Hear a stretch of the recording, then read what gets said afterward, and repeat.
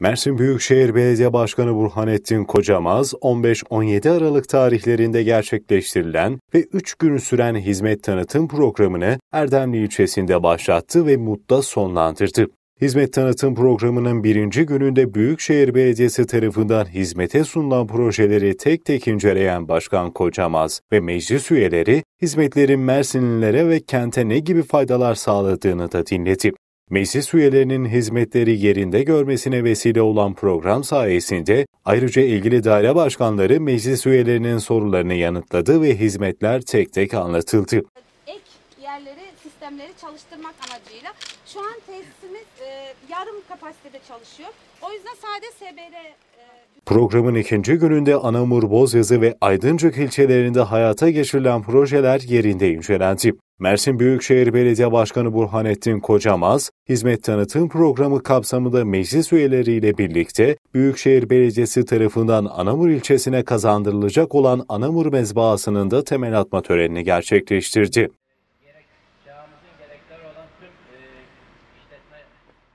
Temel atma töreninde konuşan Başkan Kocamaz, Adana'dan Antalya'ya kadar, Torosların tepesinden Akdeniz'e kadar bütün Mersin'de yoğun bir çaba içerisindeyiz diyerek önemli noktalara değindi. 30 Mart 2014'ten bu yana Büyükşehir Belediyesi olarak hiçbir ilçe ayrımı yapmadan Adana'dan Antalya'ya kadar, Torosların tepesinden Akdeniz'e kadar bütün Mersin'de yoğun bir çaba içerisindeyiz. Takdir edersiniz ki 30 Mart öncesinde Türkiye'de 16 büyük şehir vardı. Şu anda 30 büyük şehir var. Mersin daha önce de büyük şehire ev sahipliği yapıyordu. Şimdi de ama ikisinin arasında bir fark var. 30 Mart gecesi 12'den itibaren merkezdeki 4 ilçe dışında 9 ilçe daha ilave edildi. Ve Mersin bütünü köyüyle, kentiyle, kapanan beldeleriyle büyükşehir sınırlarına alındı. Dolayısıyla biz kurucu belediye başkanlığı görevini üstlenmiş olduk. Ve bütün ilçelerde yapılanmak için hemen kolları sıvadık ve bütün ilçelerimizde birimler oluşturmaya çalıştık. Belediyemizde daire başkanlıklarının sayısını artırdık. Bu kadar geniş bir alana Büyükşehir Belediyesi'nin hizmetlerini bir an evvel ulaştırabilmek için böyle bir yapılanma içerisine girdik. Tabii ilk bir yıl yapılanmayla geçti ve o süre içerisinde bir taraftan kendi birimlerimizi oluştururken personel ve araç gereç tedarikine giderken diğer taraftan bu bölgelerdeki eksiklikleri bizzat yerinde tespit edip öncelik sırasına koyup bunlarla ilgili plan, proje aşamalarından sonra kaynak arayışından sonra yoğun bir şekilde yatırımlar başladı.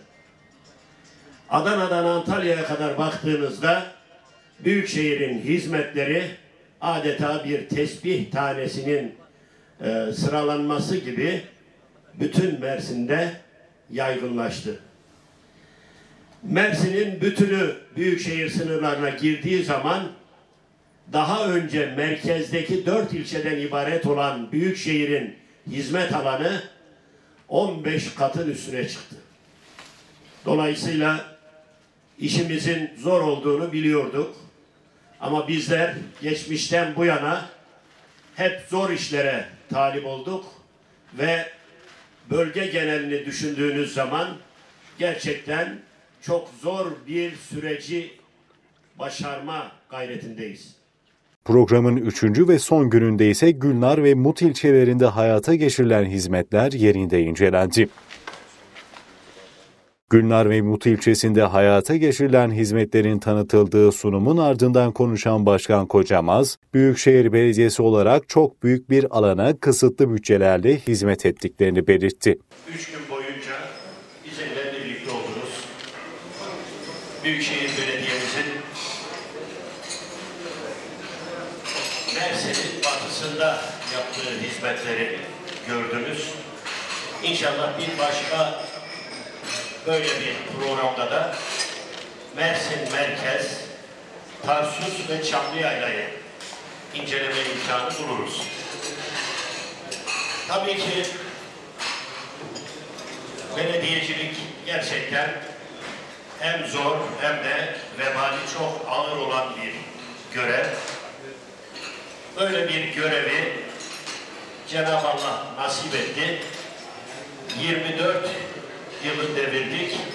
İnşallah bir sene sonra yeni seçim dönemine kadar 25 yılı doldurmuş olacağız. Bu 25 yıllık dönem benim ömrümün yüzde 45'i.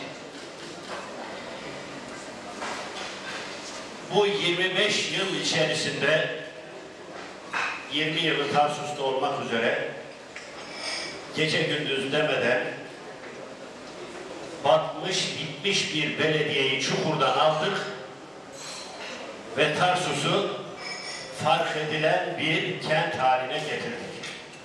Bu bütçelerle bu kadar yıl ihmal edilmiş, bu kadar geniş alanların problemlerini çözme şansınız yok. Mecbursunuz borçlanacaksınız. Ya biz durup dururken niye borçlanalım? İhtiyaç oluyor ki borçlanacağız. Verdiğimiz sözleri yerine getireceğiz ki borçlanacağız. Ha bu hizmetler yapılmasın bırakın deniyorsa o zaman bunu da çıkıp halka söylemek lazım. Biz şu şu şu hizmetler yapılmasın diye bu borçlanmayı engelledik denmesi lazım. Ama takdir edersiniz ki bugün üç gündür birlikteyiz. Vatandaşın tepkilerini bizzat herkes yerinde gördü. Yapılanı da söylüyor, yapılanmayan, yapılamayanları da söylüyor vatandaş. Şunları yaptınız ama şunlar eksik kaldı diyor. Demek ki daha kat edilecek çok yol var. Onun için değerli arkadaşlar,